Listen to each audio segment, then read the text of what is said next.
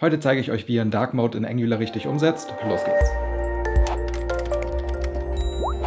Hey Leute und herzlich willkommen zu einem neuen YouTube-Video. Heute geht es um Angular und hier um den Dark Mode. Wir werden heute ja, uns angucken, wie wir in Angular einen Dark Mode umsetzen können. Das Ganze ist nicht wirklich schwer, richtet sich aber schon an fortgeschrittenere Nutzer. Was heißt, unter der Videobeschreibung findet ihr einen Link zu einer Anfängerreihe, wo ihr erstmal Angular verstehen könnt. Ansonsten, was braucht ihr für dieses Video? Ziemlich einfach, ihr braucht TypeScript, zumindest Wissen darin, SAS, also CSS, HTML und natürlich Angular. Was heißt, ihr solltet wissen, was sind Services, was sind Direktiven, was sind Komponenten. Diese ganzen Features werde ich nicht mehr erklären und sie einfach nur noch nutzen. Ich werde alles, wo es wichtig ist, natürlich euch bestmöglich versuchen zu erklären und darauf einzugehen. Allerdings kann ich in, ja, in diesem Video nicht mehr auf jede Kleinigkeit eingehen.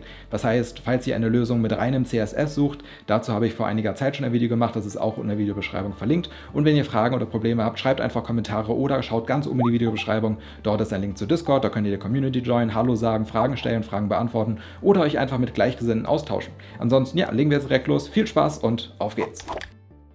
So, los geht's mit unserem heutigen YouTube-Video. Hier seht ihr das, was wir heute bauen werden. Und zwar haben wir hier den Dark Mode. Und je nachdem, ob ich hier auf den Button drücke, kann ich zwischen Dark und Light Mode hin und her toggeln. Und wenn ich zum Beispiel jetzt im Light Mode bin, mein Standard-Browser-Preset ist natürlich der Dark Mode. Und wenn ich jetzt aktualisiere, lädt auch standardmäßig der Dark Mode, abhängig von meinem Browser-Preset. Das Ganze ist ziemlich simpel und wir werden das heute, wie gesagt, umsetzen. Als erstes sollten wir uns dazu aber mal ansehen, was wir hier eigentlich an der Seite alles schon vorbereitet haben. Und das ist gar nicht so viel. Ich habe hier einmal eine Demo-Component erstellt. Das ist einfach eine kleine Test-Component. Ähm, die ist quasi leer, hier ist nicht viel drin, außer dass ich hier schon einen Service lade, nämlich unseren Dark Mode Service. Den habe ich hier oben auch schon erstellt, dieser ist komplett leer. Der wird hier in unserem App Module auch provided und wird hier auch, ähm, ja, wird alles definiert. Was heißt, hier stellen wir den zur Verfügung und wir können dann hier darauf zugreifen, indem wir halt Unterstrich Dark Mode verwenden. Hier habe ich auch ein bisschen HTML-Code schon vorbereitet, nämlich eine Heinz-Überschrift sowie ein Button mit jeweils einem ng-Container mit Dark bzw. Light Mode drin, sodass wir später halt hier zwischen den Texten hin und her ja, switchen können. Das Ganze ist nicht wirklich umfangreich und deswegen habe ich das schon ein bisschen vorbereitet. Unser CSS-Code ist wie gesagt noch komplett leer, allerdings unser Style.css ist nicht komplett leer. Hier habe ich nämlich schon ein Dark und ein White Variable vorbereitet mit jeweils schwarz und weiß drin. Das Ganze ist soweit jetzt ja erstmal dann und wir können jetzt anfangen, als erstes mal ein bisschen CSS zu schreiben. Und zwar das erste, was wir brauchen, ist, wir greifen in unserer demo.component.datei auf unseren Import zu. Was heißt, wir sagen hier Styles wollen wir nutzen, sodass wir später weiß bzw. schwarz aus unserer Styles bzw. der Variablen, die dort hinterlegt ist, nutzen können. Als nächstes sagen wir mit dem Host Selector, dass wir nur unsere Komponente stylen wollen, sodass die 100% hier einnimmt. Das Ganze speichern wir jetzt ab, passiert aber noch nicht sonderlich viel, bis auf das sie jetzt 100% einnimmt.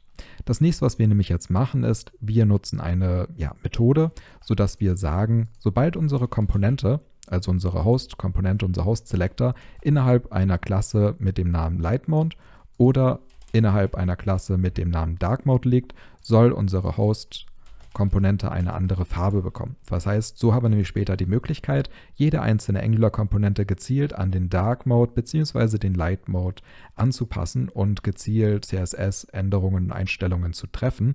In unserem Fall sagen wir jetzt beispielsweise beim Light Mode soll der Hintergrund weiß werden und die Überschrift bzw. die Schrift dark und beim Dark Mode natürlich genau umgedreht. Das heißt, wir sagen, der Hintergrund soll schwarz werden und die Schrift weiß. Das Ganze speichern wir jetzt ab. Es passiert allerdings noch nichts. Wenn ich jetzt hier allerdings mal den Dark Mode uns kopiere und hier in unsere Index.html gehe und zum Beispiel unserem Body einfach nur die Klasse Dark Mode gebe, passt sich das Ganze an. Und wenn ich hier die Klasse Light Mode verwende, passt sich das Ganze zum Light Mode an. Das funktioniert also, allerdings das hier zu definieren ist halt ein bisschen ärgerlich, deswegen machen wir das nicht. Wir haben allerdings jetzt alles, was wir CSS-technisch brauchen, vorgenommen, können das also schließen und gehen jetzt zu 100% in unseren Dark Mode Service. Hier wollen wir als erstes ja, einige wichtige Grundlagen klären. Wir haben grundsätzlich drei mögliche Punkte, die wir besprechen müssen. Wir müssen einmal unserem Body eine Klasse setzen, nämlich Dark Mode oder Light Mode und wir brauchen eine Möglichkeit, ein Toggle für unseren Button hier vorzubereiten. Und wir müssen erkennen, ob standardmäßig es sich um einen Dark Mode oder um einen Light Mode handelt. Und wir müssen das Ganze auch subscriben, sodass wir, wenn wir irgendwie unseren Dark Mode und Light Mode anpassen, irgendwo verändern, sodass wir das Ganze mit einem Behavior Subject definieren, sodass wir ein Event generieren, wenn wir zwischen diesen beiden Modi hin und her switchen. Beispielsweise um Animationen zu triggern oder um einfach CSS-Attribute nochmal zu verändern und so weiter. Das heißt, als erstes brauchen wir eine Möglichkeit, unserem Buddy eine Dark bzw. eine Light Mode Klasse zu geben. Dazu sagen wir eine Private Funktion wollen wir jetzt erstellen, nämlich set Light Mode ähm, dabei handelt es sich um eine Funktion, die nichts zurückgibt, was heißt void. Und hier sagen wir jetzt Document. Ähm, ganz einfach Body. Classlist, add und ein String, nämlich Light Mode. So, das Ganze wollen wir jetzt hier hinzufügen und gleichzeitig wollen wir hier unseren Dark Mode entfernen mit Remove und sagen hier, wir wollen jetzt unseren Dark Mode entfernen. Das Ganze kopieren wir uns jetzt einmal, machen das hier oben nochmal rein. Ich mache das hier an der Seite mal zu, das brauchen wir nämlich erst später wieder und sage jetzt hier Set Dark Mode und das einzige, was wir hier anpassen, ist quasi unser Light Mode soll entfernt werden und unsere Dark Mode Klasse soll hinzugefügt werden. Das Ganze hilft uns jetzt natürlich noch nicht sonderlich viel. Wir haben jetzt nur schon mal die Möglichkeit geschaffen, damit unsere Klassen unserem Body zuzuweisen, sodass wir zwischen Light und Dark Mode hinterher ja, äh, switchen, je nachdem, welche dieser beiden privaten Klassen äh, bzw. privaten Funktionen, nicht Klassen, wir aufrufen. Das nächste, was wir definitiv brauchen, ist die Möglichkeit ähm, zu erkennen, ob wir gerade einen Dark Mode oder einen Light Mode im Browser bzw. vom Nutzer definierten Betriebssystem nutzen. Dazu brauchen wir auch eine Private Function und zwar nennen wir die Detect äh, Dark Mode und die gibt uns ein Boolean zurück. Was heißt, nutzt der Dark Mode oder nutzt er kein Dark Mode? Um das zu tun, definieren wir jetzt eine Variable. Diese nennen wir Media Match. Und Media Match ist eine Funktion, die wir schon einmal bei einem Video mit Dark und Light Mode in CSS bzw. JavaScript genutzt haben. Nämlich rufen wir unser Window-Objekt auf, sagen hier Match Media, Preferred Color Scheme, wenn das Dark ist, Punkt Matches.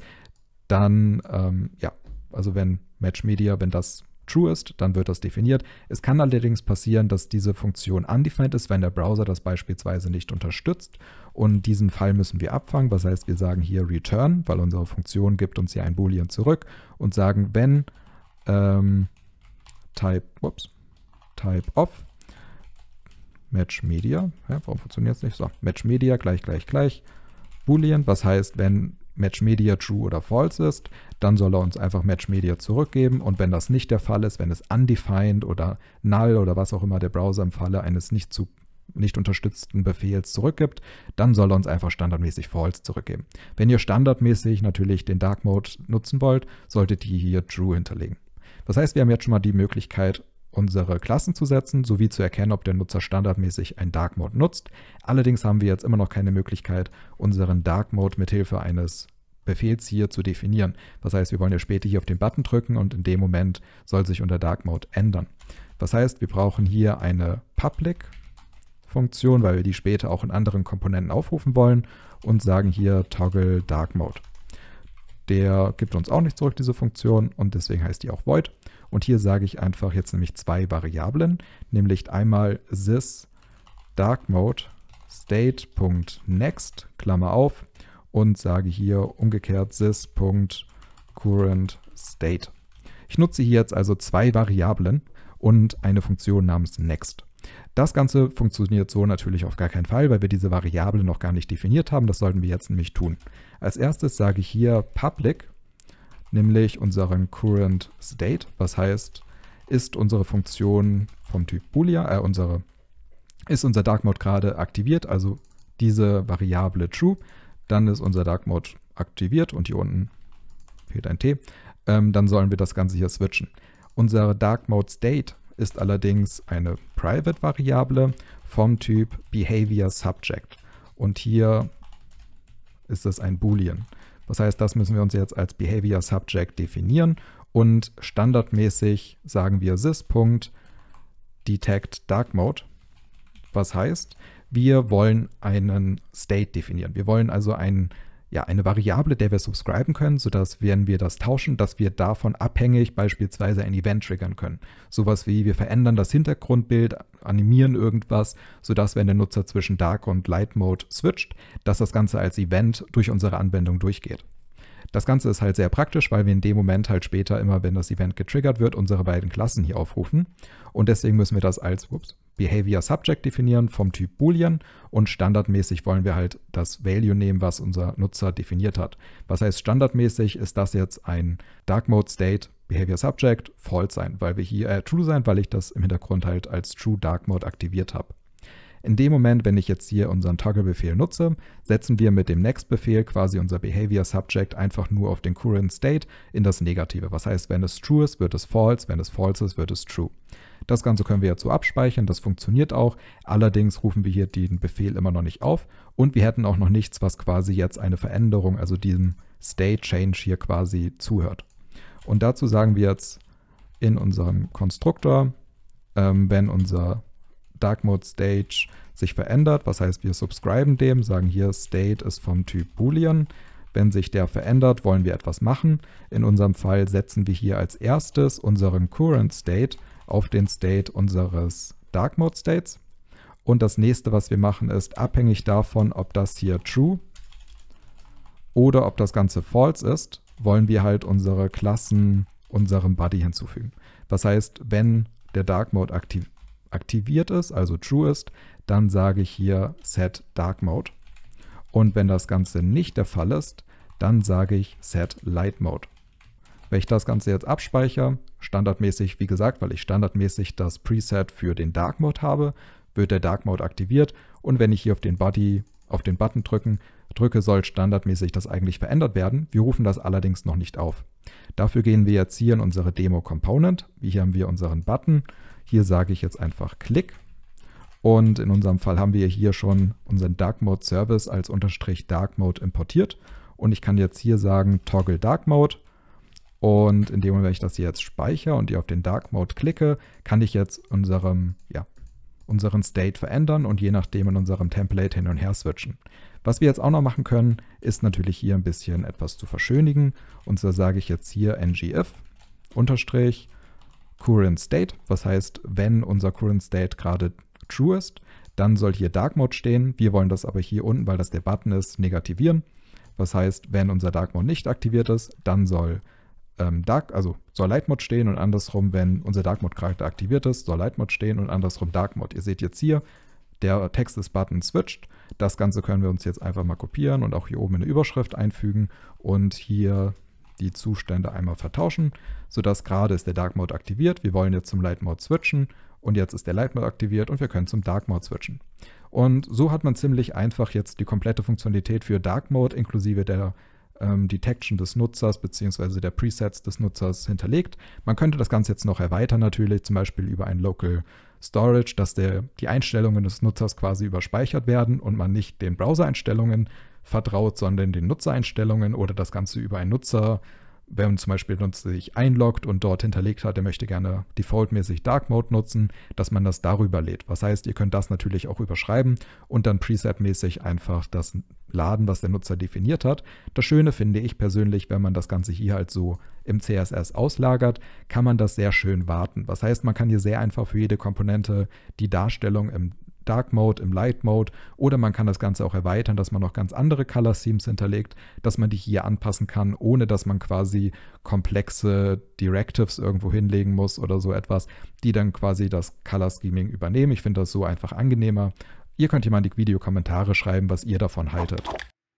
So, das war's wieder für diese Woche. Wenn euch das Video gefallen hat und ihr jetzt einen Dark Mode Angular erfolgreich umsetzen konntet, dann hinterlasst doch einfach mal einen Kommentar oder einen Daumen hoch in der Videobeschreibung. Ansonsten könnt ihr diesen Channel auch unterstützen, indem ihr ganz unten einfach mal vorbeischaut, die Glocke drückt, abonnieren drückt oder einfach mit Amazon Affiliate diesen Channel etwas supportet. Ansonsten sehen wir uns nächste Woche wieder. Bis dahin viel Spaß und ciao.